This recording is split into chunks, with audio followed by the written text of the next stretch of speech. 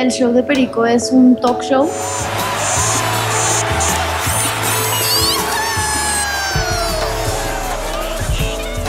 Eh, que le da la posibilidad a los televidentes, la audiencia es, familiar, eh, ser más participativo y escuchar muchas opciones, porque en realidad lo que se busca con este proyecto, cada episodio, es que los que están viendo intuyan que hay muchas más soluciones o más respuestas a los diferentes problemas que puedan surgir en nuestra vida.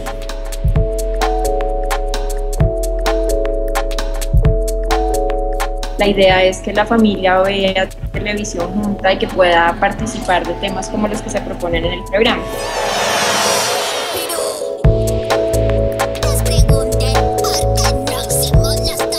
El momento hay tres temporadas y también la última temporada fue una coproducción con Argentina que también está al aire allá y ha tenido muy buena acogida también.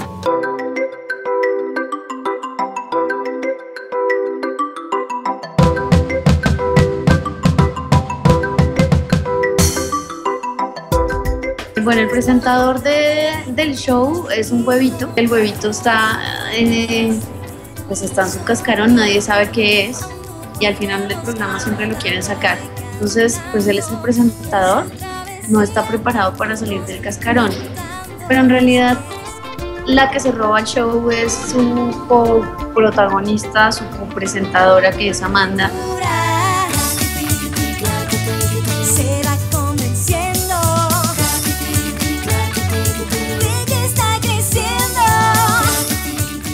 Suena discurso trillado, no es fácil, pero sobre todo lo que más queremos es hacer unas propuestas divertidas y de televisión de calidad entretenida, que es un poco de lo que carece pues, el mercado de Colombia. Ningún animal volador vuelva a ser popó. Pero eso es imposible.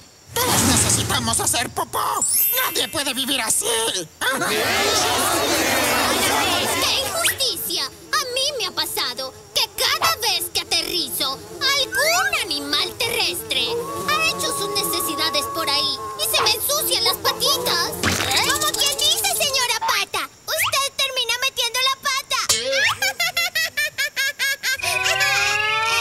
Encontramos en el tema infantil como o tal vez una gracia que ha hecho que, que los proyectos se llamen mucho la atención.